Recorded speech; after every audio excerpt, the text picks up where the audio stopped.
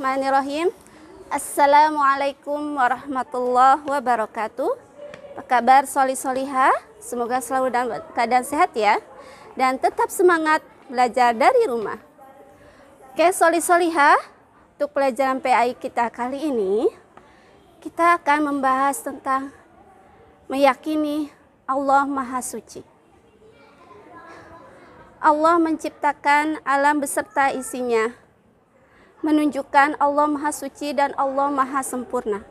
Allah menciptakan pegunungan yang menjulang tinggi, dan Allah pun menciptakan air yang mengalir sangat deras.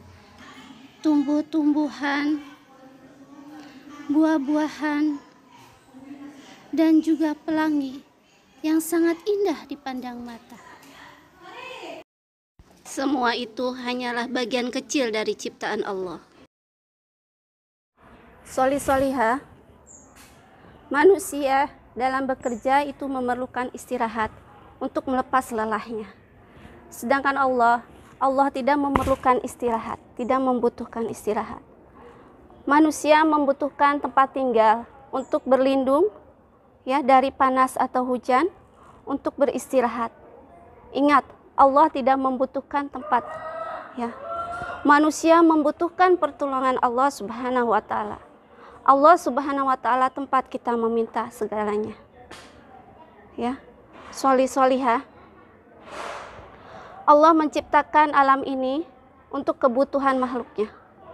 Untuk kebutuhan manusia. Ya. Bagaimana seharusnya sebagai manusia kita bersyukur atas nikmat yang Allah berikan? Siapa yang tahu? Ya. Caranya yaitu dengan merawat dan memanfaatkannya dengan baik. Soliha, Allah Maha Suci yang dalam Asmaul Husna disebut dengan Al-Qudus. Ya. Allah Maha Suci dari kelemahan. Allah Maha Suci dari kekurangan. Ya.